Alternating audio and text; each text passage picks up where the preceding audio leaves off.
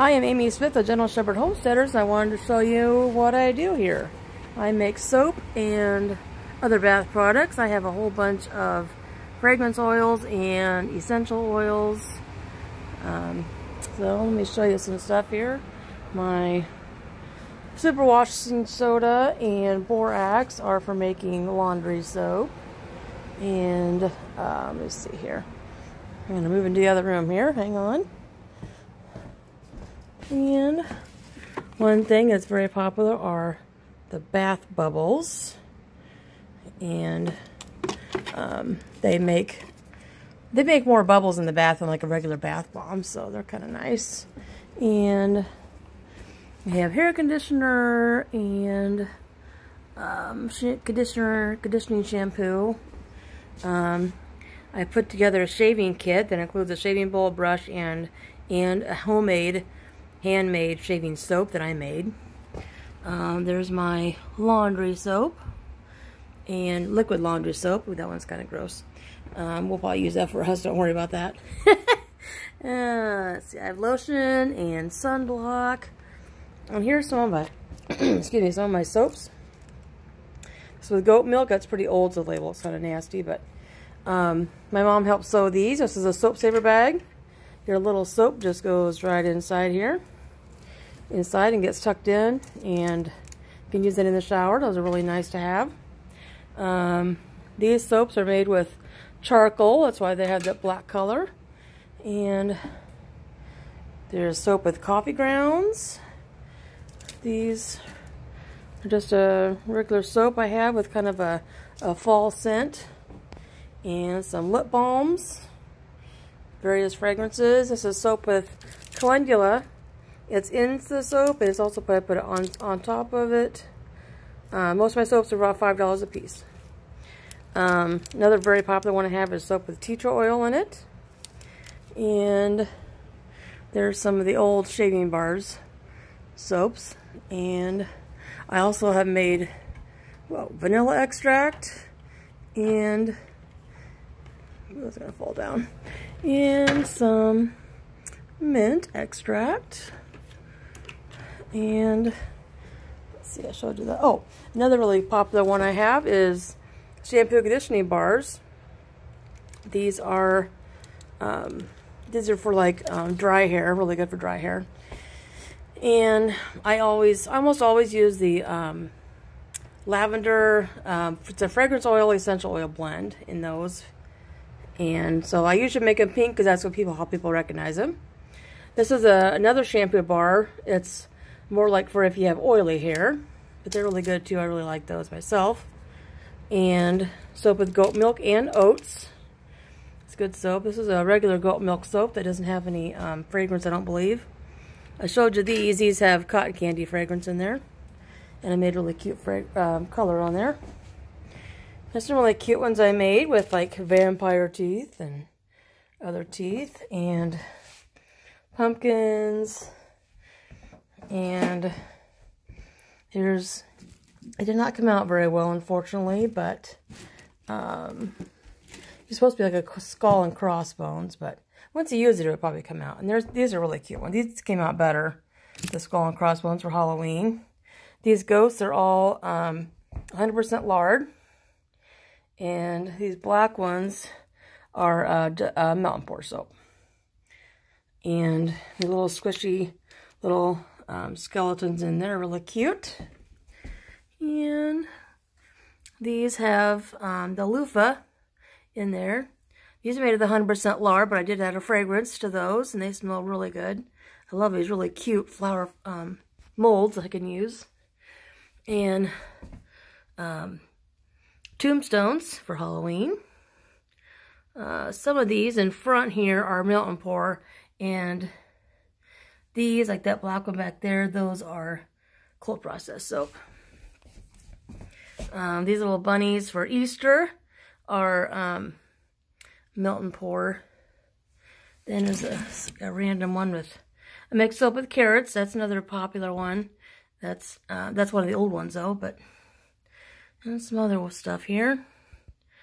Uh, look at those. Oh, there's kind of random shape. Oh, let me sit down here. And soap with salt. That's another good one. It smell really, really good. And they're very, very um, exfoliating, scratchy. Here's a new one. It's the coffee soap.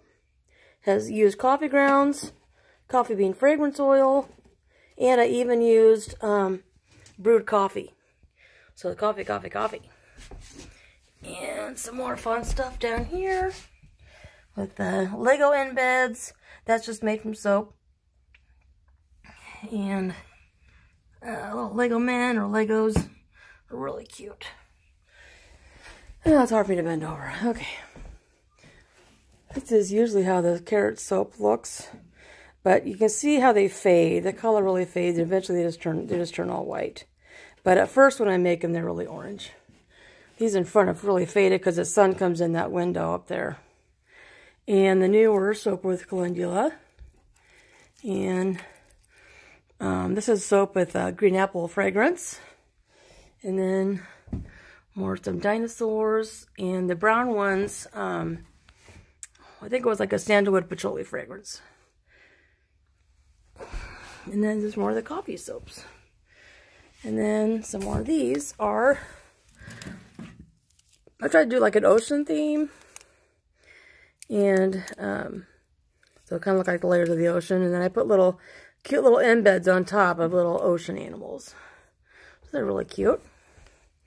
And then I also do duckies in soap. Some of these in front are the melt and pour, but these in the bags are all cold process soap with a ducky in it. And some more embeds. So I did Star Wars and really cute stuff like that. And I have so many molds. Let me go back to my mold room and show you what I got here. Okay, hang on. I've forgotten to show you in here. Um, I have lots of, I got like a gazillion jugs for making laundry soap. And uh, I only make them kind of on the fly because they tend to, um, I, they tend to break out of the plastic and they don't do very well. These are all I use. I use these jars for um, making bug spray. That's a big seller in the summer along with sunblock, really good sellers. Yeah, let me head back here to my mold room. We raise ducks as well and sell duck eggs, so we had some baby ducks in here. And show you my molds here. All kinds of adorable molds. Cute little dinosaurs. Those are small flowers. Those are itty bitty little hearts. You can see how small they are compared to my fingers. And oh, that's gross. Um, in itty bitty bitty hearts the loaf molds. I can cut the soaps. Um, I made, when I made some out, some, the, um, the coffee soap, I put some in the owl molds and they're really cute too. Houses even. All kinds of Christmas molds. I try to keep them grouped together here. It's just kind of a mess in here, but that's the one I use for my carrot soap. And another cute one I got. Christmassy thing. And snowflakes. And flowers. And it's really cute one I got. I don't know where it went. Uh, a new one I got. Oh, I think it's in the other room. It is. I'll go out there and show you later. So I have some plastic molds. They're really hard to do cold process. That's really better for um, melt pour soap. Because um, you can pop them out if you put them in the freezer for a minute. And not even use these before. We like the ducks because, you know, we love ducks and raise ducks. So I got all these cute little numbers and anything silicone my husband loves to get me. So, but those are, those are really cute flower molds and like little gift boxes. And there's the, um, what do you call them? Star Wars molds and stuff like that. I have a little big Pokemon too. There's a spider web in there. That's fun. Easter eggs and um, doggy paws and bones. I can make, I do have a dog shampoo bar I make as well. I didn't see any of that out, but it was really cute with the honeycomb and a bee in it. And that's another, it's a kitty with a fish in its tummy. Really, really cute stuff. And um, let's see. I'm gonna find for you something. I was looking for. Remember? Uh, let's see here. Oh, something. Get what I was looking for. There's the there's a bug spray.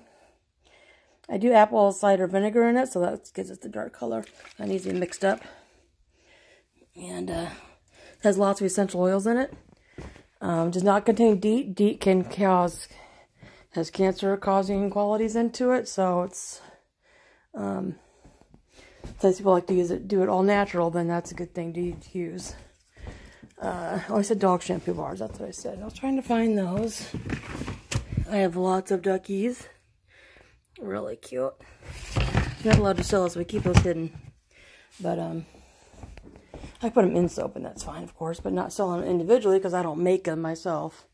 So, uh, I did not find any doggy so doggy sham doggy shampoo soaps. I know I have some somewhere, but they have a little doggy paw print on them, and they're really cute. So, anyway, um, that's it for now. Maybe I'll make another video of me actually making some soap and have to have someone hold the camera for me or something. So. Thank you for watching. I appreciate it.